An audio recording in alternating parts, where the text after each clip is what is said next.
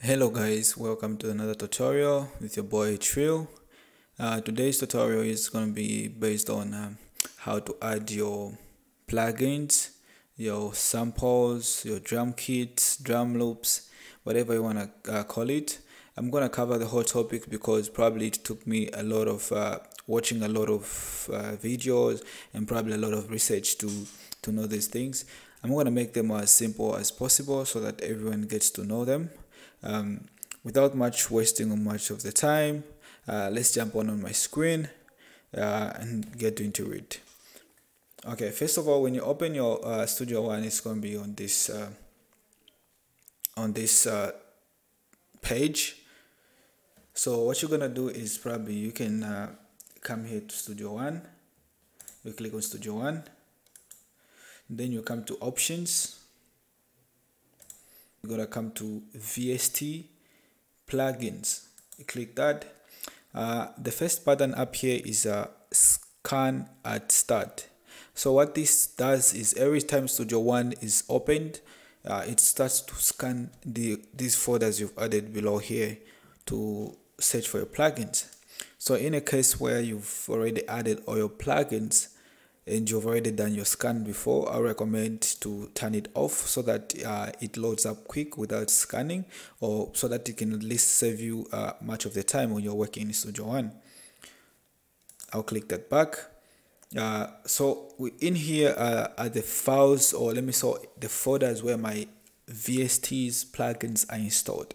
So what you gotta do is uh, click on add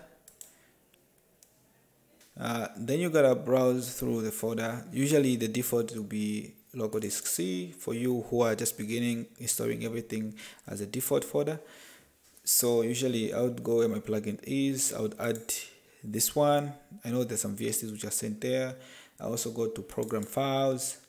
Uh, this is usually a must. Most of the plugins put their install their folder location as uh, Steinberg so I would all those I would add that then probably add select. So as you can see it's already it's it's not added because studio one is so sensitive to know that uh, this folder is already there. Once you add that folder what you're gonna do is hit apply and hit ok. That's how you you, you add your your VSTs to there. So I'm gonna uncheck this because I already have my plugin that I want to use uh, already added to here. So I don't want to be, to be scanning every time I, I turn it on. I'm gonna click OK. Adding your your sound kits drum kits drum loops samples risers whatever you want to call them. I'm just gonna put, put the new uh, click up on a new session. Uh, I don't know how it will open but you hit click on browse. Uh, then up here there are instruments.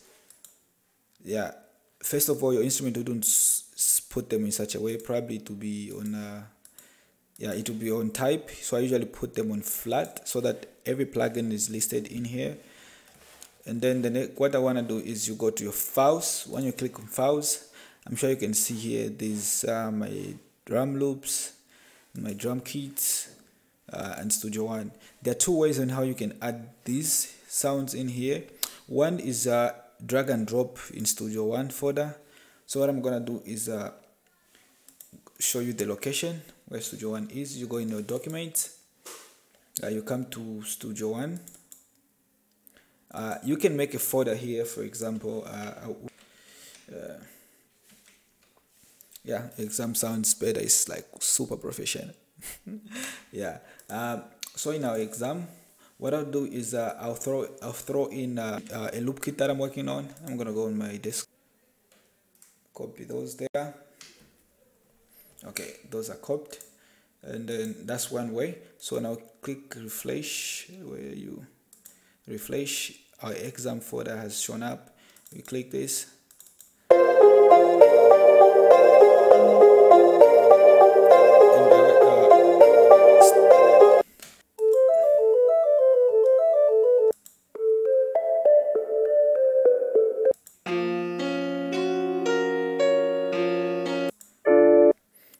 one method that I can use. Then the other method is just you click here, you right click.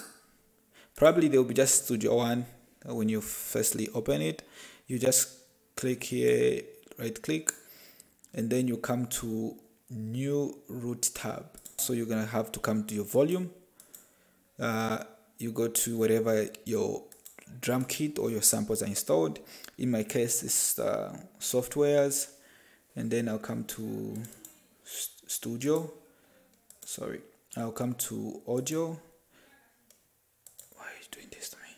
And I'll come to my kits so in a case where I just already added those what I want to do is uh, as you can see I don't have uh, I only have got my kit uh, trio loop but right now we are in my kit so I'll create an inner subfolder in these sounds so I gotta come to trio drums. I've got uh, a Metro Booming drum kit the official one here.